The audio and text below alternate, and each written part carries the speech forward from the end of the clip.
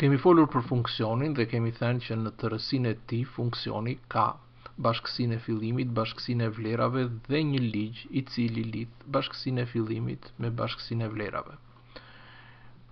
Në vazhdim po japim një formulë y baras me 3x minus 1, e cila në fund të fundit është ligji që mund të lidhë një bashkësi të fillimit me një bashkësi të vlerave. Konkretisht, disa elementë të bashkësisë fillimit janë zeroja njëshi dhe dyshi, të cilët, duke u zëvendësuar në x-i i formulës tek ligji ynë, do të na japë përfundimet minus 1, 2 dhe 5. Pra, zeroja në bazë të ligjit të funksionit, që është një formulë, lidhet me minus njëshin. Njëshi lidhet me dyshin dhe dyshi lidhet me pesën. Në të gjitha këto rastet janë bërë këto veprime. Por le të shikojmë një formë tjetër, atë që quhet grafiku i një funksioni. Bëhet fjalë për këtë vijën e kuqe.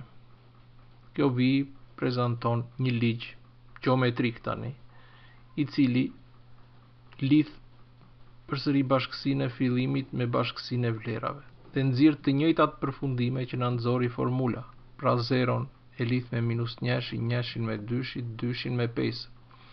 Atëherë si bëhet kjo lidhje?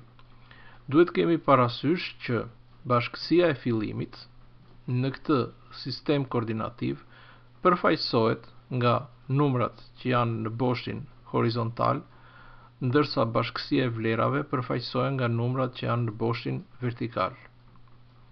Pra, kemi bashkësinë e fillimit, bashkësinë e vlerave dhe ligjin që lidh këto bashkësi, e cila ose i cili prezantohet nga kjo drejtëza me ngjyrë të kuqe. Konkretisht, po marrim rastet më të thjeshta, Në qoftë se kemi dyshin si një element të bashkësisë së fillimit, dyshin do ta shikojmë tek boshti horizontal ose siç thuhet boshti i ikseve.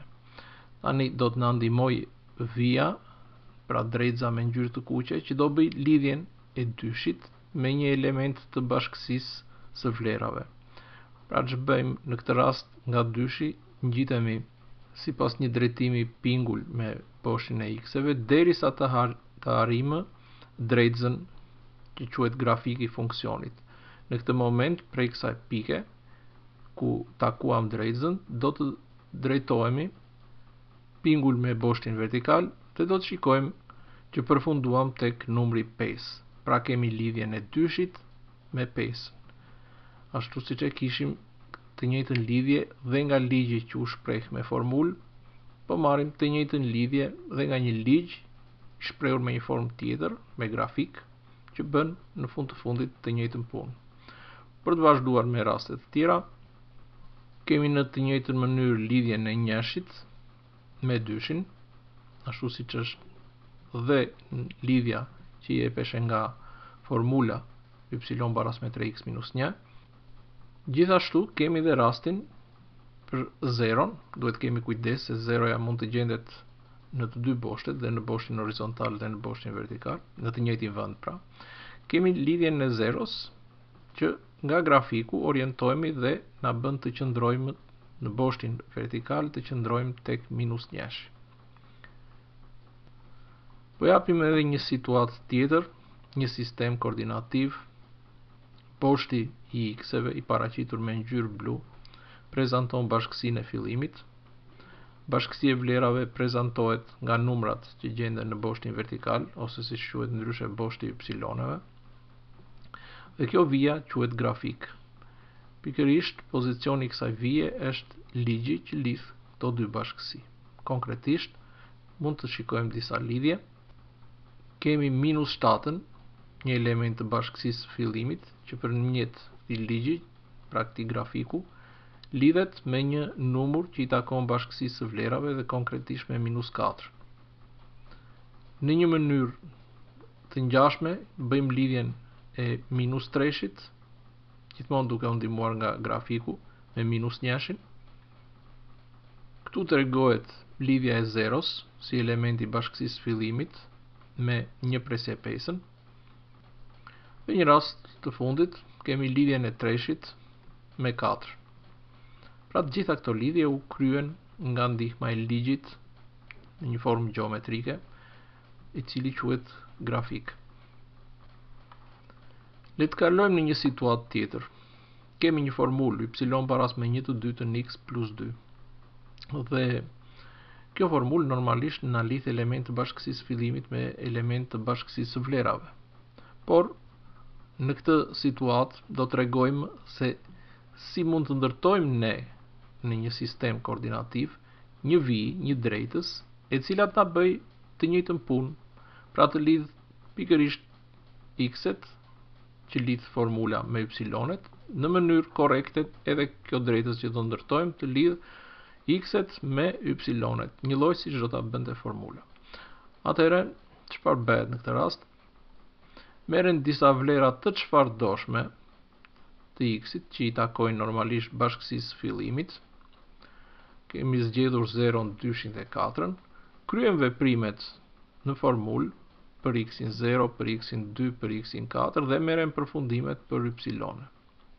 Pra, sigurojmë faktin që kemi një lidhje të zeros me dyshin, të dyshit me treshin, të katrës me katrën. Atëherë në sistemin tonë koordinativ ndërtojmë ca pika që të tregojnë pikërisht këtë lloj lidhje. Dhe konkretisht do të kemi një pikë në këtë pozicion, e cila gjeometrikisht lidh zeron e bashkësisë së fillimit me dyshin e bashkësisë së vlerave.